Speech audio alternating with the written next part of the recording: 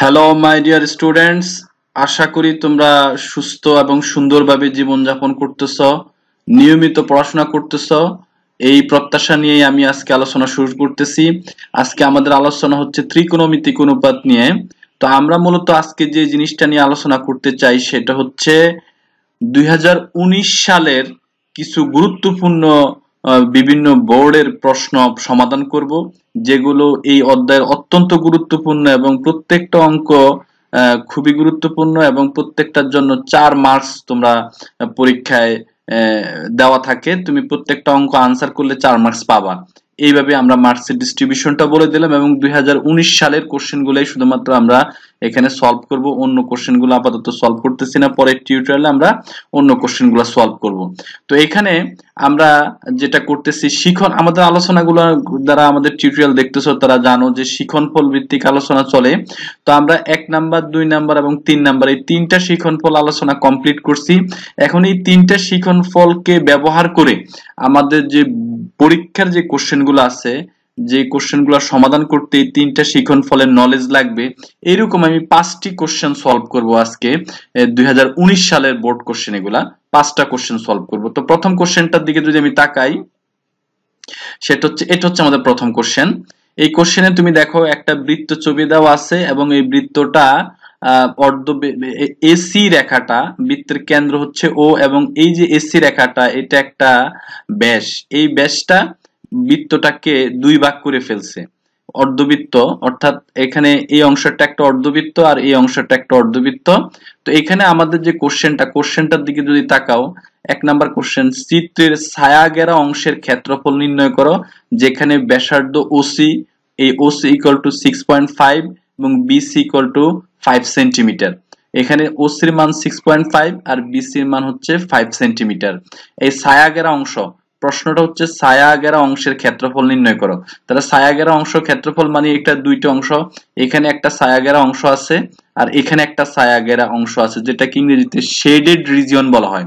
এই শেডেড রিজিয়নের আমরা ক্ষেত্রফল নির্ণয় করবে, এটা হচ্ছে আমাদের টার্গেট তো আমরা এই বৃত্তটা বা এই প্রশ্নটা খুব সুন্দরভাবে যদি অ্যানালাইসিস করি, তাহলে প্রথম কথা হচ্ছে, এখানে যে অর্ধবৃত্ত আছে, এই অর্ধবৃত্ত যদি আমি ক্ষেত্রফল বের করি, এবং অর্ধবৃত্তর ক্ষেত্রফল থেকে এ বি সি ত্রিভুজ, এই ত্রিভুজটা যদি বিয়োগ করি, তাহলে কিন্তু আমাদের এই এরিয়াগুলা আনসার হিসাবে দেখাবে। অর্থাৎ যে আনসার পাবো, সেই আনসার মানে এই এরিয়ার ক্ষেত্রফল।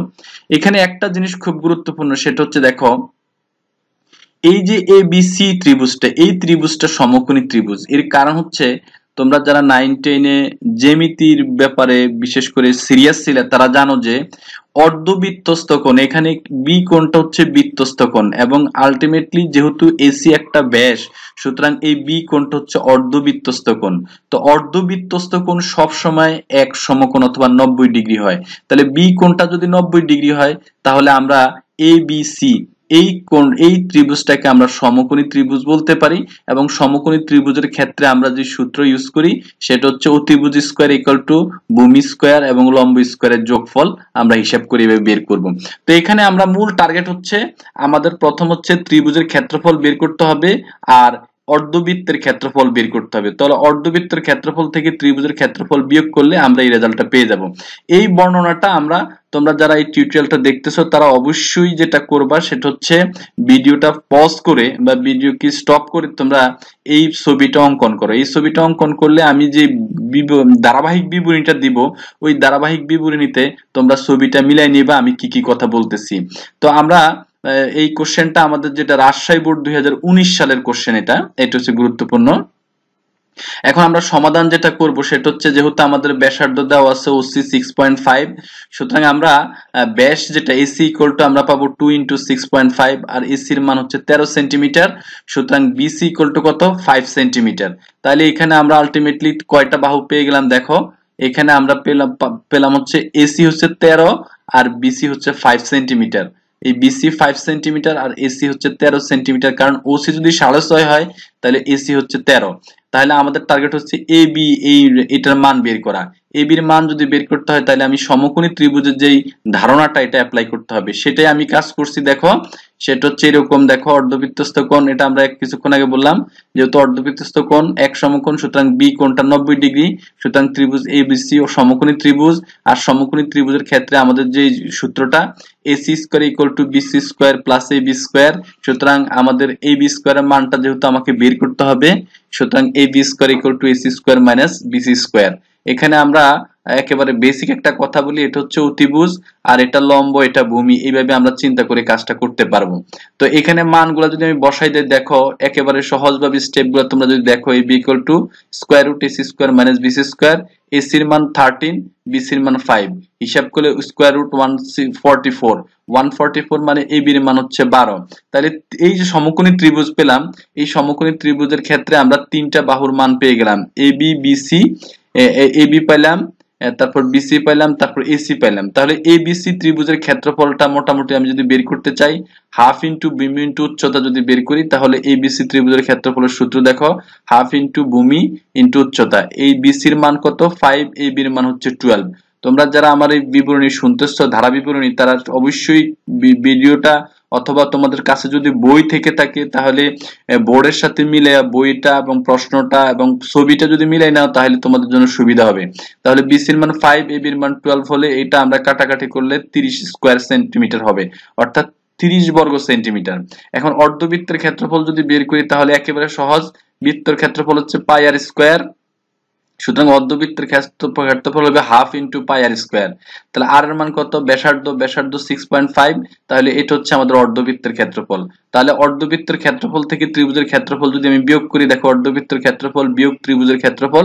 তাহলে আলটিমেটলি আমরা যেটা পাবো ছত্রিশ দশমিক তিন ছয় ছয় বর্গ সেন্টিমিটার। খুবই সহজ জিনিস এবং খুব সুন্দরভাবে তোমরা বইয়ের সাথে এবং ছবির সাথে যদি মিলাও, তাহলে তোমাদের জন্য আরও সহজ হবে। এরপর এটা হচ্ছে ছায়াগার অংশের ক্ষেত্রফল আমি বের করলাম। এরপরে আরেকটা প্রশ্ন দেখো, দিনাজপুর বোর্ড দুই সালের প্রশ্ন। এটা খুব ভালোভাবে খেয়াল করতে হবে এবং বর্ণনাটা খুব সুন্দরভাবে মনোযোগ দিয়ে শুনতে হবে। এই ছবিটা দেখে তোমার কাছে মনে হচ্ছে বা আমরা দেখতে পারতেছি এখানে একটা বৃত্ত আছে আর এখানে একটা চতুর্ভুজ আকৃতি আছে। এই চতুর্ভুজটাকে প্রশ্নে স্পষ্ট করে উল্লেখ করে দেওয়া আছে ও এ বি সি একটি রম্বস। সুতরাং ও এ বি সি কি? রম্বস। এবং ও এ সি বৃত্ত কলায় ও কেন্দ্রিক বৃত্তের অংশ। তার মানে এখানে আরেকটা অংশের কথা বলা আছে ও এ সি এটা একটা বৃত্ত কলা এবং এ বি সি এ অংশের ক্ষেত্রফল নির্ণয় করে, অর্থাৎ এ বি সি এ এই যে ছায়াগের অংশ, এই ছায়াগের অংশের ক্ষেত্রফল নির্ণয় করতে বলা হচ্ছে।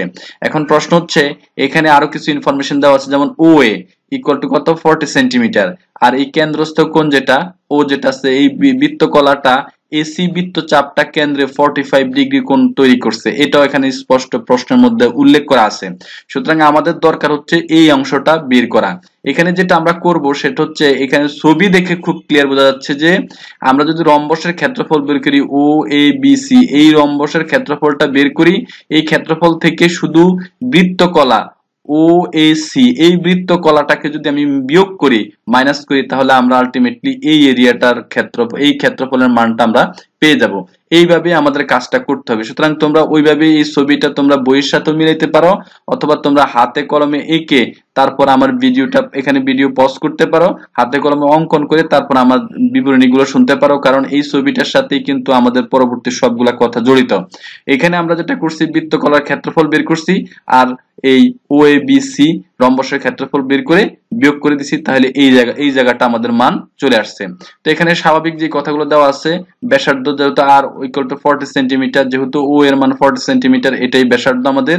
তারপরে বৃত্তকলা ও এসির ক্ষেত্রফল বের করব, কিন্তু তার আগে আমাদের থিটা কত? থিটা হচ্ছে ফর্টি ফাইভ ডিগ্রি তো theta forty five degree pi by four হবে। এটা অবশ্যই থিটাকে আমাদেরকে রেডিয়ানে প্রকাশ করতে হবে। এর কারণ হচ্ছে, এর কারণ আমি বলি, যেহেতু বৃত্তকলার ক্ষেত্রফল হচ্ছে হাফ আর স্কোয়ার থিটা থিটাকে অবশ্যই আমার রেডিয়ানে প্রকাশ করতে হবে। আর এর মান হচ্ছে ফর্টি অর্থাৎ ব্যাসার্ধর মান ফর্টি স্কোয়ার করলে এটুকু হবে। তারপরে আমাদের নর্মাল হিসাব, তোমরা স্টেপ বাই স্টেপ হিসাবগুলো ফর্টিকে আমি ফর্টি ইন্টু ফর্টি লিখছি, আট আর ফর্টি যদি ভাগ করি তাহলে ফাইভ হয় আলটিমেটলি দুইশো স্কোয়ার দুইশো pi two hundred pi square centimetre হচ্ছে, এটা হচ্ছে বৃত্তকলার ক্ষেত্রফল। এখন আমরা রম্বসের ক্ষেত্রফল যদি বের করতে চাই, তাহলে এখানে একটা ত্রিভুজ চিন্তা করতে হবে। এ আর সি যোগ করলে ত্রিভুজ ও এ সি এর ক্ষেত্রফল বের করব।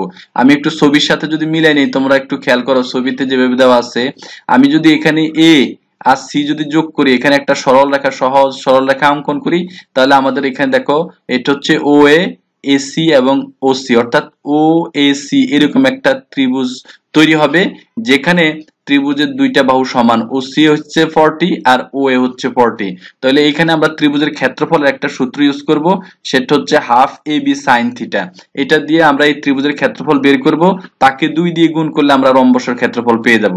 এই কাজটা আমরা এখানে করছি, দেখো ত্রিভুজের ক্ষেত্রফল, এটা হচ্ছে আমাদের বৃত্ত করার ক্ষেত্রফল, ত্রিভুজের ক্ষেত্রফল আমরা বের করে দেখো, কি পাইছি? Half into O A, O C equal to sine theta তাহলে এখানে ও এর মান ফর্টি ও সির মান forty sine forty five degree এখানে ডিগ্রি লিখতে হবে। যদি আমাদের আমাদের এখানে আমাদের রাইটিং এ মিস্টেক হয়েছে অথবা কম্পোজ করতে এখানে আমরা ফর্টি ডিগ্রি লেখা উচিত ছিল ফর্টি ডিগ্রি তার মানে আলটিমেটলি এখানে যেটা আসবে সেটা খেয়াল করো one by root two square root two sine forty five degree মান। এখানে কাটাকাটি করলে এখানে দেখো এটা হচ্ছে আমাদের হাফ আর এটা হচ্ছে চল্লিশ চল্লিশ, ছয়শো, ষোলোশো। এটা হাফ দিয়ে গুণ করলে হবে আটশো। ভাগ করলে এখানে দুই দিয়ে ভাগ করলে আটশো হবে। স্কোয়ার রুট দুইবার গুণ করলাম লব এবং হরকে স্কোয়ার রুট দিয়ে গুণ করলাম। তাহলে নিচ হবে টু উপর হবে স্কোয়ার রুট এটার সাথে এটা যদি ভাগ আটশোকে দুই দিয়ে ভাগ করলে four hundred square root two square centimetre বর্গ সেন্টিমিটার এটা হচ্ছে আমাদের কিসের ক্ষেত্রফল? এটা হচ্ছে আমাদের ত্রিভুজের ক্ষেত্রফল। এটা হচ্ছে আমাদের ত্রিভুজের ক্ষেত্রফল। এই ত্রিভুজের ক্ষেত্রফলটাকে আমি দুই দিয়ে যদি তাহলে রম্বস ও এবিসি এর ক্ষেত্রফল হচ্ছে টু ইন্টু দেখো টু ইন্টু ত্রিভুজ ও এর ক্ষেত্রফল। তার মানে ত্রিভুজের ক্ষেত্রফল আমি যা পাইছি তাকে দুই দিয়ে গুণ করলে রম্বসের ক্ষেত্রফল তৈরি হবে। সেটা হচ্ছে আটশো root square root two square বর্গ সেন্টিমিটার। এটা হচ্ছে আমাদের রম্বসের ক্ষেত্রফল। সুতরাং আমরা রম্বসের ক্ষেত্রফল থেকে বৃত্তকলার ক্ষেত্রফল বিয়োগ করব। তাহলে আমাদের সরাসরি আনসার চলে আসবে। সুতরাং এ বি সি এ এই অংশের ক্ষেত্রফল, এই যে সায়াগের অংশের ক্ষেত্রফল হচ্ছে রম্বসের ক্ষেত্রফল বিয়োগ বৃত্তকলার ক্ষেত্রফল। রম্বসের ক্ষেত্রফল হচ্ছে এত বৃত্তকলার ক্ষেত্রফল এটা বের করে আমি বিয়োগ করছি পাঁচশো তিন দশমিক শূন্য পাঁচ এক বর্গ সেন্টিমিটার তৈরি হয়ে গেছে। সুতরাং অবশ্যই তোমরা খাতায় এখানে ছবিটা অবশ্যই অঙ্কন করে নিবা, তাহলে আমাদের এই ধারাবিবরণীর সাথে তোমাদের ছবি মিলাইলে লেকচারটা সহজে বুঝতে পারবা। এরপরে যেটা আসছে সেটা হচ্ছে এই ছবিটার দিকে তোমরা যদি তাকাও এখানে দেখবা এটা একটা বৃত্ত দেওয়া আছে এবং ও এ দেওয়া আছে, ও এ ব্যাসার্ধ, ও সি ব্যাসার্ধ, ও বি ব্যাসার্ধ। এখানে যেটা বের করতে হবে সেটা হচ্ছে এই যে সায়াগারা অংশটা, এই সায়াগারা অংশের ক্ষেত্রফল বের করতে হবে। এটা বের করতে গেলে আমাকে যেটা করতে হবে সেটা হচ্ছে ওই যে বি ও সি এই ত্রিভুজের ক্ষেত্রফল বের করতে হবে, তারপরে বিওসি বৃত্তকলার ক্ষেত্রফল বের করতে হবে। বৃত্তকলার ক্ষেত্রফল থেকে ত্রিভুজের ক্ষেত্রফল যদি বিয়োগ করি আলটিমেটলি এই অংশটা আমাদের থেকে যায়, যেটাকে আমরা শেডেড রিজন বলতেছি বা ছায়াগের অংশ বলতেছি, এটার মান আমরা পাবো। তা আমরা যেটা করব সেটা হচ্ছে এখানে ইনফরমেশন যেটা দেওয়া আছে, সেটা হচ্ছে এটা স্বাভাবিকভাবে দেখা যায় এ ও সি হচ্ছে নব্বই ডিগ্রি বলাই আছে, আর এটা হচ্ছে দুই সেন্টিমিটার এইরকম ভাবে দুই লেখা আছে। এটা দুই লেখা আছে আর এটা নব্বই ডিগ্রি বোঝা যাচ্ছে। তাহলে আমাদের এইখানে যেটা করতে হবে, এটা যেহেতু আমাদের এই বৃত্ত চাপটার ক্ষেত্রে যে কেন্দ্রস্থ কোণ তৈরি করছে, এটা যদি আমি বের করতে হয়, এটা হচ্ছে সিক্সটি ডিগ্রি। অর্থাৎ নব্বই ডিগ্রি থেকে তিরিশ ডিগ্রি বিয়োগ করলে এখানে সিক্সটি ডিগ্রি হবে। এই জিনিসটা আমরা বের করে নেব এবং এটাকে রেডিয়ানে প্রকাশ করব। সেই কাজ করা আছে এখানে দেখো, ব্যাসার্ধ আর টু কত? টু কোন এওসি ইকুয়াল টু নব্বই ডিগ্রি যেহেতু আমরা জানি, এটা দেওয়াই আছে আমাদের, এটাও দেওয়া আছে আমাদের, দুইটাই দেওয়া আছে তাহলে থিটা ইকুয়াল টু কত? পাই বাই থ্রি অর্থাৎ এটাকে আমরা রেডিয়ানে প্রকাশ করছি। বিওসি কে নব্বই ডিগ্রি মাইনাস ত্রিশ ডিগ্রি ষাট ডিগ্রি ষাট ডিগ্রিকে আমরা রেডিয়ানে প্রকাশ করলে পাই বাই থ্রি হয়। তাহলে বিওসি বৃত্তকলার ক্ষেত্রফল হচ্ছে half r square theta r এর মান টু থিটার মান পাই বাই থ্রি আলটিমেটলি এখানে হিসাব করলে আমাদের কত আসতেছে? দেখো ফোর আর এখানে টু আর থ্রি গুণ করলে সিক্স হবে, আর ফোর হবে টু পাই বাই থ্রি এখন আমাদের খেয়াল করতে হবে, যেহেতু আমাদের ওবিসি ত্রিভুজের ক্ষেত্রফল বের করতে হবে ওবিসি ত্রিভুজের ক্ষেত্রফলের ক্ষেত্রে দেখো O A O B r equal to অর্থাৎ এগুলো সবই ব্যাসার্ধ। সুতরাং একই বৃত্তের ব্যাসার্ধ হওয়ার কারণে সবগুলোর মান টু ও, বি, সি ত্রিভুজের ক্ষেত্রফল আমরা যদি বের করি তাহলে half into O, B, O, C sine sixty degree. Sine sixty degree মান root three by two, O, B, O সির মান হচ্ছে টু স্কোয়ার রুট থ্রি। তাহলে সায়াগের অংশের ক্ষেত্রফল আমরা যেটা পাবো সেটা হচ্ছে বৃত্তকলার ক্ষেত্রফল মাইনাস ত্রিভুজের ক্ষেত্রফল। হিসাব করলে zero point three six two three বর্গ একক এই আইডিয়াটা তৈরি হয়। এখানে আবারও আমি রিপিট করতেছি আর একটা কথা, সেটা হচ্ছে তোমরা তোমাদের বইয়ের সাথে অবশ্যই সালের সাথে, বোর্ডের সাথে মিলাইয়া এই প্রবলেমটা সামনে রাখবা। অথবা কাগজের ছবিটা তৈরি করে নিবা, উঠাই নিবা, তাহলে তোমাদের জন্য আমি যে কথাগুলো বলতেছি, এই কথাগুলো সহজ মনে হবে। তারপরের কোশ্চেনটাতে আমি যদি যাই, সেটা হচ্ছে এখানে যে কোশ্চেনটা আছে, সেটা হচ্ছে সিলেট বোর্ড দুই সালের প্রশ্ন। এখানে একটা ছবি দেওয়া আছে, বৃত্ত দেওয়া আছে, এবং এটা বলছে যে বিওসি এই যে বৃত্ত কলারটা আমাদের শেডেড রিজন বা ছায়াগর অংশ, এই অংশের ক্ষেত্রফল বের করতে হবে। এটা একেবারে সহজ জিনিস। আমরা বৃত্ত কলার ক্ষেত্রফল যেভাবে বের করছি, এখানে বৃত্ত কলার ক্ষেত্রফলের সূত্র ইউজ করে আইডিয়া ইউজ করে এই কাজটাই করতে হবে। এখন আমরা যেটা করব সেটা হচ্ছে আমাদের দড়ি বৃত্তের ব্যাসার্ধ আর বৃত্তের ক্ষেত্রফল কত? পাই আর স্কোয়ার এখানে বলা আছে প্রদর্শিত প্রদর্শিত বৃত্তের ক্ষেত্রফল 49 পাই হলে ছায়াগেরা অংশের ক্ষেত্রফল নির্ণয় করো। সুতরাং 49 পাই হচ্ছে বৃত্তের ক্ষেত্রফল, এটা আমাদের প্রশ্নেই দেওয়া আছে সরাসরি। আর এটা পাইছি আমি সূত্র অনুসারে। এই দুইটাকে একসাথ করলে আমাদের আর এর মান হয় 7 সুতরাং এইটা হচ্ছে ব্যাসার্ধ। একই চাপের উপর দণ্ডমান কেন্দ্রস্থ কোণ বৃত্তস্থ কোণের দ্বিগুণ। এই আইডিয়াটা অত্যন্ত গুরুত্বপূর্ণ এবং এটা তোমাদের নাইন টেনে আইডিয়া আছে যে এখানে বৃত্তস্থ কোণ কত? এটা হচ্ছে ষাট ডিগ্রি। আমাদের বিসি হচ্ছে চাপ। এই চাপটার কথা খেয়াল করো, এই হচ্ছে আমাদের চাপ। এই চাপের উপর কেন্দ্রস্থ কোণ কত? ষাট ডিগ্রি। আর বিওসি এটা হচ্ছে কেন্দ্রস্থ কোণ। আর বৃত্তস্থ কোণ হচ্ছে ষাট ডিগ্রি। সুতরাং কেন্দ্রস্থ কোণ বৃত্তস্থ কোণের কত?